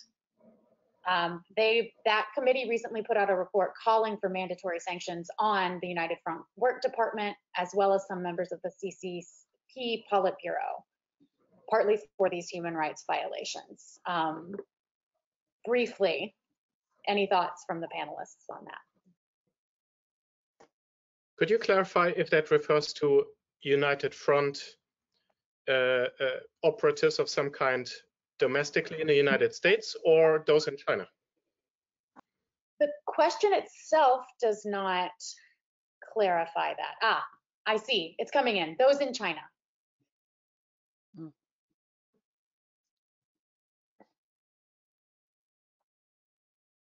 Sorry, I guess I have a clarifying question too about whether whether the question is about the United Front uh, work department as a whole or individual members of it. That is a wonderful question that unfortunately, we'll see if a clarification comes in. I, I now see a new clarification that says those in China and in the US. If I if I could, um, I you know the the uh, the sanctions are not punitive measure, um, as you know. It is uh, it has a deterrence effect. So if you go after a government entity that does not have a business interest or travel interest to the United States, it will not be very effective. That kind of defeats the purpose of that um, uh, legal tool. But what should happen is that uh, the the sanctions effort should focus on individual government officials, policy advisors, and enforcers. That would that would be much more effective. So um, um, ideally, uh, the United States government should at least consider those names being sent to the uh, uh, Treasury Department and State Department at least two years ago. Um, uh, Sophie can correct me, but uh, since the GMA put in place in 2016, there's only one Chinese official have been sanctioned. Um, uh, that is wrong. Um, it's not that difficult. And the GMA, the Global Mag Magnitsky sanction, should not be a, a, matter of cherry picking whenever that becomes convenient for the United States government's uh, diplomatic engagement. It has to be a, some effective tool. And also the other governments um, um, that has a similar, they uh, have similar legal tools also should uh, uh implement this. Uh, it's not, you know, uh, now it's different um, with the Uyghur Act being enacted uh, it's no longer a discretionary. It, it, it, directs the president to implement that law.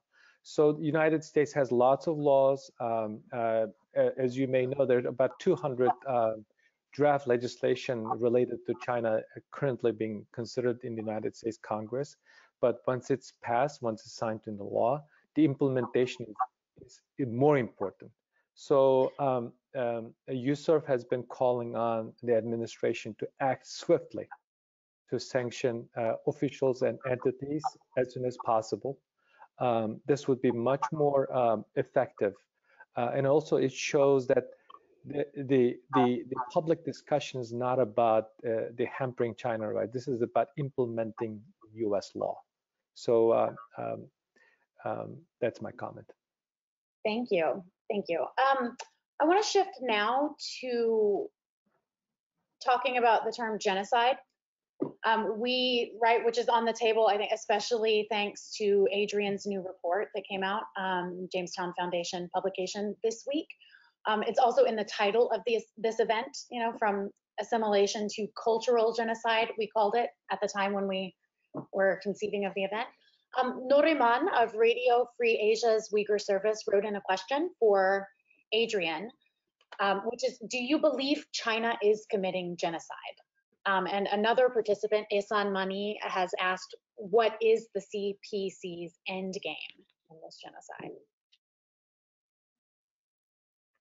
I'm an advocate of being relatively conservative with use of terminology because uh, terminology retains its power if it's accurately used. So I think that's a very legitimate question. I think um, I have to admit I was at least uh, slightly surprised by my own findings. I did not uh, anticipate to find them. Um, it was kind of an extension of uh, research on population growth. And then I stumbled on onto various uh, things, which of course I was, you know, at least trying to look for. So, but um, to answer the question, I continue to maintain that the end goal of the CCP uh, is completely distinct from that of Adolf Hitler, who tried to eradicate the Jews, uh, saw them as an evil and dangerous race that need to be wiped off from the earth. That was his ideology. The CCP ideology is to integrate the ethnic groups. The ethnic groups are like the the, the Uyghurs uh, and, and others are like the glory uh, of, of the Chinese empire, so to speak, the great uh, Chinese nation.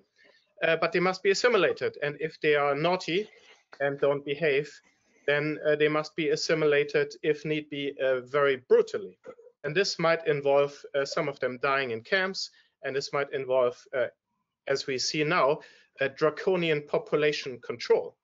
And um, quite clearly it is now, uh, I would say, probably accurate uh, to say that the Beijing's actions in Xinjiang are moving from uh, a clear cultural genocide into meeting one of the five criteria for actual genocide. And of course, depending how you read the convention, you could say, uh, I, I, still try to be a little uh, conservative and say, okay, maybe we qualified we say demographic genocide. That's not a clearly defined term. It has its issues. Um, uh, uh the, it's only the beginning of the debate. Um, to, to, denote, in my opinion, it's it's important to denote the fact that the CCP, I believe, is not trying to literally eradicate and physically kill, mass kill the Uyghurs. It's part of a extremely coercive campaign to control and change the Uyghurs, which at the moment involves suppressing their natural population growth to um, zero or, or, possibly below zero. And this could be for a season. Um, demographic genocide is a term I have chosen to use. Um, it, it, it's, it's, it's an initial way of characterizing it. It is up to legal experts to make a determination. I'm, I'm not a legal expert. I cannot make this determination. But clearly, this has opened up the debate at a new level. And I would invite uh, the others' comments on that. Nuri? Um, I make a living by uh, working on compliance matters. The compliance is mitigating, uh, preventing things getting worse or get, get um, or become a big legal issue. Um, in litigation, what we uh, we call what Adrian has been telling us uh, through investigative reporting and, and relying on the actual uh, government documents as admissible evidence. Uh, what we have now, especially since last fall, with the uh, uh, disclosure of secretive government documents, and now with the um, with uh, with the most recent revelation by um, Adrian, um, as a lawyer, I'm quite comfortable to say that this this fits the definition of genocide, and I don't think there are any adjective. Uh, I respect Adrian's position. He's a scholar. I'm a lawyer. We take a different position on matters. Uh, um, I, I, think I think it's pretty clear. Uh, a slow motion uh, genocide is taking place, and those of us who are a student of history know that when the actual genocide is taking place, no one would know. I think that something similar is happening. So touching the actual physical body, a soul is not really necessary. Um, uh, when they crafted and agreed on the genocide convention, the, uh, the world was a very different place. We live in a, fundamentally different world today. So I strictly interpreting um, or based on the the, the, the language text on the uh, uh, gen, uh, uh, genocide convention, the prevent that particular word is quite relatable the Chinese government is through systematic, deliberate methods to prevent the population growth. Uh, that in of itself uh, should uh, qualify the Chinese policy as a genocide. We have um, an, question that came in from several people. Lauren Wants, Valerie Vecek, Karina McKenzie. They want to know what some concrete actions people can take as individuals and this cultural genocide are. Um, and in a related vein, Brett Mathews, who is a UK-based uh, textile and apparel industry journalist, um, wants to know more specifically how concerned brands should be uh, about what's happening with forced labor and their links to Xinjiang, he says. Would the panel suggest a complete boycott of all apparel and cotton with links to the Uyghur region? Um, is that appropriate given the current situation? And how does that, how would that then in turn relate to, to what individuals can do as well? I know I'm that's Take a stab at the, at the textiles question, unless somebody else would like to. You go ahead, Sophie. Sure. Well, I think uh, it's it is very clear that companies and third-party auditors cannot do the kind of human rights due diligence that is required, uh, either under the UN's guiding principles for business and human rights, or you know that's expected by uh, trade law. And in that sense, I think, you know, businesses and, and, you know, the other piece of the puzzle is that there has been quite good reporting about forced or compulsory labor, about labor transfer schemes that, you know, I think we can reasonably assume are coercive. Uh, I think if brands can't be sure that their supply chains aren't free of uh, labor rights violations, they need to think long and hard about whether they should stay in Xinjiang. Uh, and I think it's not an accident that we're starting to see, both in the US and Europe and possibly a couple of other markets, you know, regulatory uh, constraints being put in place that are essentially based on rebuttable presumptions, right? The idea that, that the onus is on a company to show that they're not using forced labor than on the importer to show that, that, it's, that it's clean. Uh, and I think we're going to see more of that in coming months because now, apologies, panelists, I can't I can't remember who made this point earlier. I think the the very visceral response that that often consumers have when they know that the shirt they're wearing might have been made by forced labor uh, is is a powerful one. I think brands need to be very aware of that. Um, two two thoughts. One, um, as a um, as a citizen, as an individual, um, the couple of things you could do. Um, one is related to what Sophie is saying. The global supply chain has been polluted with tainted products coming from China. So next time when you go to Costco, next time when you go to H&M, next time when you go to uh, uh, the uh, Uniqlo, be mindful. Uh, the stuff that you're buying for yourself and for your children might have been produced by forced labor. Um, and now, yesterday, uh, one of the most disturbing things that I've uh, I've heard the hair, the Uyghur woman's hair, may be arriving to your bathroom. Be careful uh, when you're purchasing stuff that is made in China, especially in a textile in, uh, industry. And also, um, I, I, also encourage the people who, who are in the management level in those uh, uh retail business that you might be um, complicit in crime. Uh, the you know, after the Second World War, some industrialists, uh, some representatives from the businesses stood in trial in Nuremberg. This is a serious matter. There's a law in the United States that uh, that could go after you. Um, uh, and then thirdly, uh, as an individual, call on your representatives and support the uh, the draft bill that addresses this very issue. Uh, there's a bill being introduced in the United States Congress to uh, to address this for modern day slavery. Um, I, oh, go ahead. Rian. No, please go ahead. Well, I'll, I'll try to be real brief um, and just add on the um, on the forced labor issue that um, we for Uyghurs within the borders of the People's Republic of China right now, there is no such thing as consent, particularly within Xinjiang. Whatever happens there, whatever decisions they have to make when faced with a Chinese uh, employment recruiter, for example, all happens against the background of the mass internment campaign, where people were put away for things as small as not greeting an official on the street. So there, there is no way for a person to honestly express their preferences. What this means is that all state organized labor, and any kind of international um, brand that's sourcing anything from Xinjiang is engaged necessarily with state recruitment of force of, of, of laborers.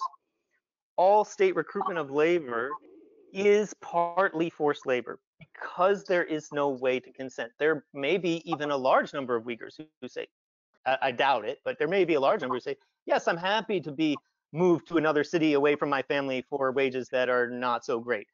Um, but there are also a large number who are not happy with that and they are not allowed to say yes. So there is no way now to get forced labor free products from Xinjiang. And Nuri points out that there is legislation in the US, like the TVPA, which includes criminal sentences, um, uh, imprisonment for CEOs and upper management of companies that knowingly um, acquire uh, goods that have forced labor involved in them. Thank you, Rian. Um, unfortunately, I think I'm gonna have to cut us off and wrap it up there. I think we could keep talking about um, these and related issues for hours and possibly days, I think. Um, but our time is up. So I want to say thank you, thank you, thank you on behalf of UHRP and the World Uyghur Congress to all five of our panelists. Thank you also to those of you out there in the ethers who have been submitting questions. Again, I'm so sorry that we could not get to all of them. I strongly encourage you to take to, to Twitter with some of them if you're interested. I think they Yeah, could go for it. read, That would be read great. wait there and you know these five assembled here are are wonderful at that medium um, I also want to thank Zumrat Ay Erkin of the World Uyghur Congress for running our tech so beautifully and smoothly today. Um, and I will wrap things up just really briefly. I know we're two minutes over already. Um, Tim Grose, who was originally going to appear on this panel today, sent in a few remarks. I definitely didn't get a chance to read or have time to read, but I, I want to end on a note that he really emphasized in them, which is that we might have forgotten in some senses the real significance of um, July 5th, the events that led to it, the Urumqi uprising, as we might call it now, um, especially as that those events were perceived by the first wave of protesters. So he has he wants to encourage us to remember, all of us, scholars, journalists, activists, anyone who's interested, and Uyghur communities as well, how important it is to rescue, reclaim, and reinterpret this history. So the Urumqi uprising, you know, is the result of a brave, courageous individuals who had, in some senses, a very simple message um, to stand up against discrimination and oppression, regardless of the consequences, as Tim so beautifully wrote. So thank you, uh, and I hope you all have a lovely you know, rest of your day and evening. And let's keep talking about this and working Thank toward you. it. Thank you so much. Thank you. Thank Thank you. you. Thank you so much. Thank you. Bye. Bye.